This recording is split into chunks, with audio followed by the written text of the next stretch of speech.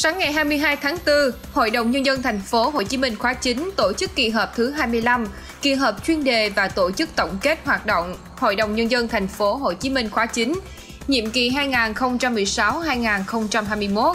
Đây là kỳ họp cuối cùng của Hội đồng Nhân dân thành phố Hồ Chí Minh khóa 9. Đồng chí Nguyễn Thị Lệ, Phó Bí thư Thành ủy, Chủ tịch Hội đồng Nhân dân thành phố Hồ Chí Minh chủ trì kỳ họp. Phát biểu khai mạc kỳ họp, Chủ tịch Hội đồng Nhân dân thành phố Hồ Chí Minh Nguyễn Thị Lệ cho biết, Kỳ họp này, Hội đồng Nhân dân thành phố Hồ Chí Minh sẽ xem xét thông qua nghị quyết về điều chỉnh giá đất năm 2021 trên địa bàn thành phố Hồ Chí Minh, nghị quyết về chủ trương đầu tư dự án xây dựng nút giao thông An Phú, thành phố Thủ Đức và dự án xây dựng hạ tầng, cải tạo môi trường kênh Tham Lương, Bến Cát, rạch nước lên. Dự thảo nghị quyết tiếp tục thực hiện đề án chương trình sửa học đường, Kỳ họp cũng sẽ xem xét quyết định bầu nhân sự Hội đồng nhân dân thành phố Hồ Chí Minh để ổn định về mặt tổ chức, đáp ứng kịp thời yêu cầu triển khai thực hiện nghị quyết Đại hội đại biểu Đảng bộ thành phố Hồ Chí Minh lần thứ 11. Sáng ngày 22 tháng 4, tại kỳ họp thứ 25, Hội đồng nhân dân thành phố Hồ Chí Minh khóa 9, Hội đồng nhân dân thành phố Hồ Chí Minh đã thông qua nghị quyết về chủ trương đầu tư dự án xây dựng nút giao thông An Phú, thành phố Thủ Đức và dự án xây dựng hạ tầng và cải tạo môi trường kênh Tham Lương, Bến Cát, Rạch Nước Lên. Dự án xây dựng nút giao thông An Phú, thành phố Thủ Đức có tổng vốn thực hiện là 3.926 tỷ đồng. Về dự án xây dựng hạ tầng và cải tạo môi trường kênh Tham Lương, Bến Cát, Rạch Nước Lên, kết nối tỉnh Long An qua sông Chợ Đệm và tỉnh Bình Dương, tỉnh Đồng Nai qua sông Sài Gòn. Dự án thuộc nhóm A với mức tổng đầu tư là 8.200 tỷ đồng. Dự án có quy mô xây dựng hạ tầng và cải tạo môi trường toàn tuyến kênh Tham Lương, Bến Cát, Rạch Nước Lên với chiều dài toàn tuyến hơn 32,7 km. Dự án được thực hiện nhằm tiêu thoát nước, chống ngập và giải quyết ô nhiễm, kết nối hạ tầng giao thông. Ngày 22 tháng 4 trong kỳ họp thứ 25, kỳ họp cuối cùng của Hội đồng nhân dân thành phố Hồ Chí Minh khóa 9, các đại biểu đã bầu ông Nguyễn Văn Dũng, Chủ tịch Ủy ban nhân dân quận 1 làm Phó Chủ tịch Hội đồng nhân dân thành phố Hồ Chí Minh nhiệm kỳ 2016-2021.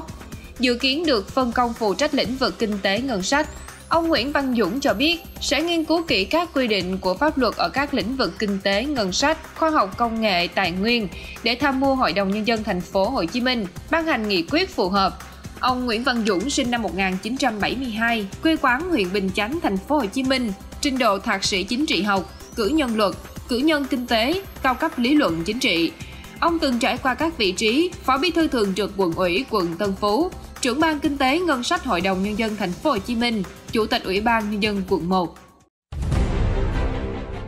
Sáng ngày 22 tháng 4, phiên tòa sơ thẩm xét xử ông Vũ Huy Hoàng, cựu Bộ trưởng Bộ Công Thương và đồng phạm, được mở trở lại sau hai lần hoãn do vắng mặt một số bị cáo, người có quyền lợi và nghĩa vụ liên quan. Trong 10 bị cáo có ông Vũ Huy Hoàng, cựu Bộ trưởng Bộ Công Thương và Nguyễn Hữu Tính, cựu Phó Chủ tịch Ủy ban nhân dân thành phố Hồ Chí Minh, Liên quan tới vụ án, ông Vũ Huy Hoàng và Phan Chí Dũng bị truy tố về hành vi vi phạm quy định về quản lý sử dụng tài sản nhà nước gây thất thoát lãng phí. Các bị cáo còn lại bị truy tố về hành vi vi phạm các quy định về quản lý đất đai. Có tổng số 21 luật sư tham gia bào chữa, trong đó ông Vũ Huy Hoàng có 3 luật sư, ông Nguyễn Hữu Tính có 2 luật sư.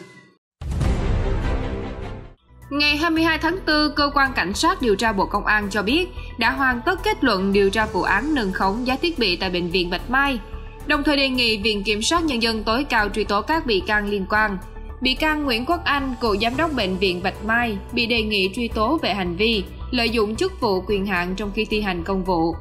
Theo kết luận điều tra, khi được bổ nhiệm làm giám đốc bệnh viện Bạch Mai, ông Nguyễn Quốc Anh muốn phát triển khoa ngoại nên thành lập một số khoa như phẫu thuật thần kinh, chấn thương chỉnh hình và cuộc sống. Biết được thông tin trên, ông Phạm Đức Tuấn, giám đốc công ty BMS đến gặp ông Nguyễn Quốc Anh, giới thiệu công ty BMS là đơn vị phân phối robot phẫu thuật và đề nghị cung cấp cho bệnh viện Bạch Mai loại robot Rosa với giá 39 tỷ đồng, loại robot Marco giá 44 tỷ đồng nhưng cơ quan điều tra xác định công ty BMS nhập khẩu robot Rosa từ Pháp về sân bay nội bài, hàng mới 100% và nguyên giá chỉ hơn 7,4 tỷ đồng. Thời gian gần đây xảy ra nhiều vụ tai nạn giao thông trên đèo Bảo Lộc, trong đó nguyên nhân chính do người điều khiển phương tiện vi phạm quy định về trật tự an toàn giao thông như chạy quá tốc độ, đi sai làn đường, phần đường. Dù vậy, ý thức tham gia giao thông trên tuyến đường đèo này chưa được cải thiện. Tình trạng lái xe nối đuôi nhau vượt, lấn làng vẫn diễn ra phổ biến, tiềm ẩn nhiều nguy cơ tai nạn trên tuyến đường huyết mạch kết nối Lâm Đồng với các tỉnh phía Nam.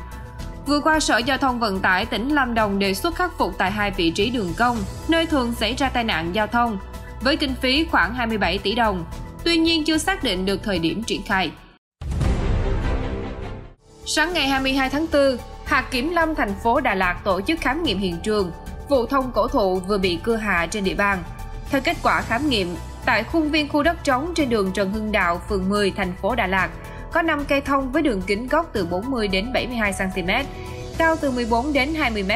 trữ lượng gỗ thiệt hại hơn 6,3 mét khối. Được biết những cây thông bị cưa hạ nằm trên thửa đất số 17 và 19 đường Trần Hưng Đạo. Trên trục đường có nhiều biệt thự cổ là cây rừng nội ô do Ban Quản lý rừng phòng hộ Lâm Viên Đà Lạt quản lý. Vào thời điểm kiểm tra, lực lượng chức năng chưa xác định được đối tượng cưa hạ thông. Theo Trung tâm Dự báo Khí tượng Thủy văn Quốc gia, chỉ số tia cực tím UV trong 3 ngày tới, từ ngày 22 đến ngày 24 tháng 4, ở Bắc Bộ phổ biến đều có nguy cơ gây hại cao, riêng Hải Phòng có nguy cơ gây hại rất cao. Các tỉnh thành phố miền Trung và miền Nam, chỉ số này phổ biến đều có nguy cơ gây hại rất cao. Riêng Cần Thơ, thành phố Hồ Chí Minh và Cà Mau, ngày 24 tháng 4 có nguy cơ gây hại cao.